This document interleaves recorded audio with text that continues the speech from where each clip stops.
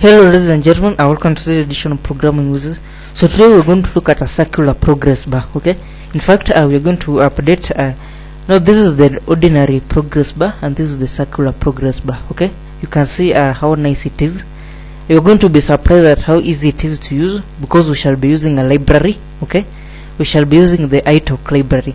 Now just to have a look if I click start uh, you can see the circular progress is getting updated and at the same time text uh, the percentage level is getting also updated okay? So guys are welcome. Uh, we get started. We see how to make uh, this thing. So guys uh, before we continue i would just like to inform you that this uh, the library we're going to use is a free library okay? It's an open source one. So please uh, you can here is the license. You can go uh, to the here is the website www.hazeldev.com okay? Now you can go there you can follow the link and uh, uh, you'll be able to see uh, some of the things. Now after he has just posted them in the website uh, as RAR files so you can just download and then extract them. Now once you've extracted them uh, you're going to have something like this one. Inside the files folder you shall have this uh, theme okay now it is this iTalk uh, that we're going to use. Remember we're using c sharp? You can see it's provided for c sharp and for vb we shall be using c sharp. So uh, just copy this theme not the first thing after creating your project. But then you can see I've already created my project okay? Once you've copied the file uh, come to your uh, solution right click it and then uh, paste it over there. Once you've pasted it here you can see my file right here okay once you've pasted it over there uh, just come and build your project. Okay? Just uh, okay? Once it's through uh, once you, we've built the project now when we come to our toolbox let me just close this one first. Okay? Just come to your toolbox okay and then uh, right here you can see we have all these components okay? Now the library comes with all these components. You can see rich text book radio button progress indicator progress bar. For today we shall be tackling the progress bar.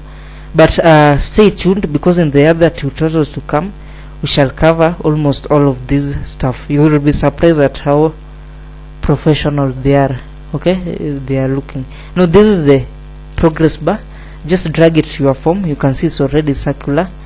Then when you come to properties okay you can change uh, the text property. Uh, when you scroll down just have a look here progress bar color one. Now we can change uh, the progress bar color okay? You can change it to whatever you want. Like let me for instance choose the green one. Then uh, let me change the value to 7 uh, you see the difference okay you can see uh, that is the the progress bar one is that one for uh, the top one. And then uh, the circle one uh, is this other color okay? So guys uh, you can see how the progress bar is easy. I'll also drag the ordinary Windows fo uh, form uh, progress bar into my form okay?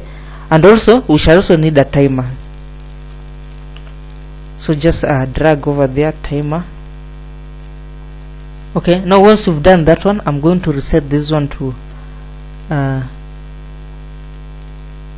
let me give it a better color. I don't like this color. I'll bring it over to let me give it something like orange. Red is not so bad. Okay?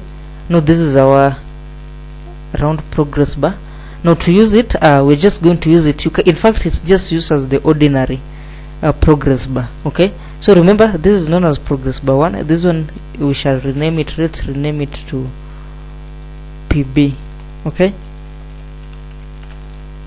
Not problem pb pb okay? No that's the name. Now just come uh, double click your timer. It shall take us to the timer tick event uh, the first thing that we shall do in our uh, let's also come to our form double click the form. Uh, in the in our form load event let me just rearrange them to something more natural. This one should be the first one. Now the first thing that we're going to do we're going to enable our timer. So say timer 1 dot enabled okay? Equal to true. Then uh, after enabling our timer uh, let's just come. Uh, we're going also to set its interval. So say timer 1 dot interval. Now for interval we shall give it 50 and then uh, let's just come uh, as a global variable we shall uh, declare int progress.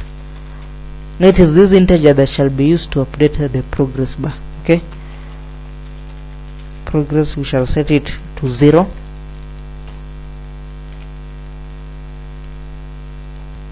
then the next thing we shall need a button okay? Now to uh, see how just we shall just drag. In fact I'll use the iTalk uh, button. You can see also uh, they also have very nice buttons. Now for the button I shall come here and just have it there start. Then the name property I shall change to start button.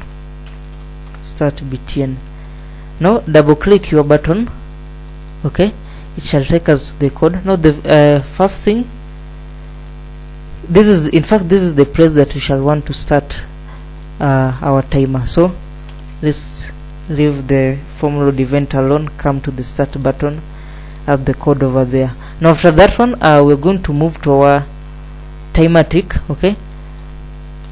Our timer tick event. The first thing we're going to increment our progress value. Now say progress plus equal to 1 okay? Now we shall be incrementing it by 1 but we'll need to check uh, if it is if it has reached a hundred so that we stop okay? So that our timer does not run forever. So if progress is greater than or equal to a hundred no this is the uh, situation whereby we shall stop, stop. And to do that one we shall just uh, disable our timer so say timer 1 dot enabled equal to false.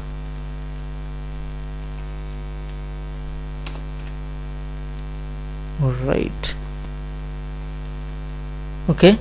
Timer 1 uh, dot is, uh, enabled equal to false. Then we shall stop it. Timer 1 dot stop.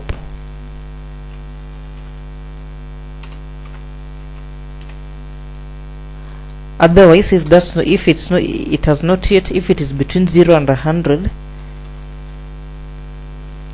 uh, we shall just continue updating our progress bar now remember we have our two progress bars the first one that we shall need to update is progress bar 1 dot value.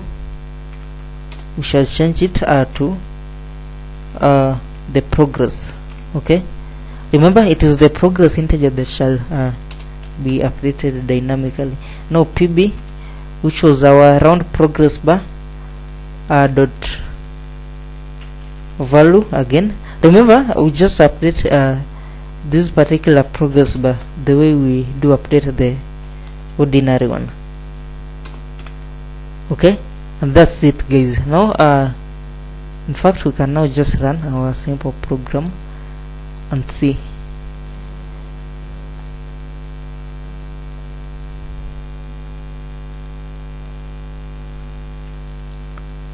No we set uh, let's reset this one from 7 to 0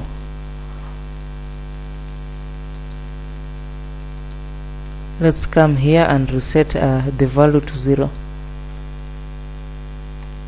okay then run uh, our simple program.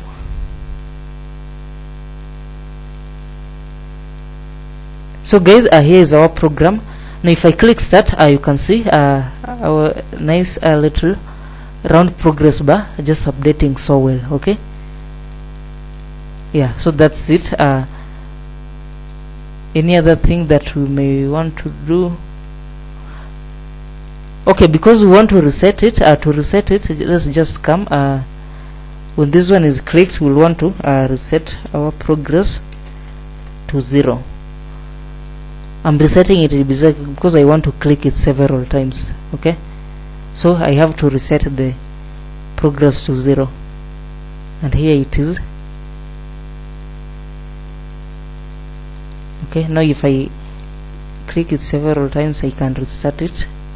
Okay so guys uh, you can see uh, how this beautiful uh, how beautiful this library is. You can download it you can use it in your project.